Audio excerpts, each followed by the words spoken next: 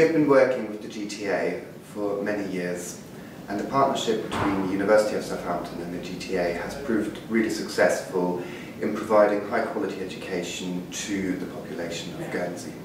in particular in the form of the MBA for the senior executives and aspiring managers on the island. The partnership between these two organisations is good because the GTA has a very good reputation on the island and it has excellent facilities that both the students and we can utilise in order to have a good educational experience. Whenever organisations fund educational interventions for any of their staff, they of course have to think about the benefits that they might leverage out of supporting individuals through programs of study. We always say, if you're supporting one of your colleagues to go onto an MBA, what you will gain in return are two things. One of them is an individual that is well versed within all aspects of an organisation and therefore is able to, to grasp the complexities of organisations in the 21st century. Secondly, you have an individual that has been exposed to many different and often new ideas, and therefore what they can bring back to an organisation is an ability to look at challenges or opportunities from a different perspective. What that enables organisations to do is to be more responsive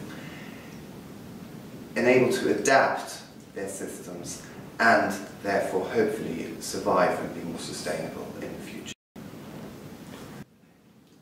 The students studying for an MBA here at the GTA will get in terms of lecture materials and face-to-face -face time exactly the same program that they would get as if they would study our part-time program.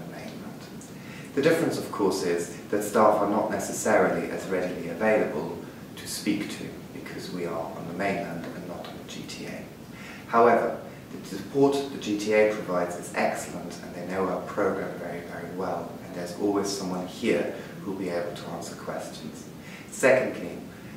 we are very good in working with new technologies, maybe Skype or simple email, and respond to students as fast as we can to solve any problems.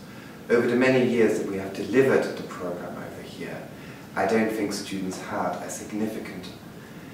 different experience compared to those students that study on the mainland.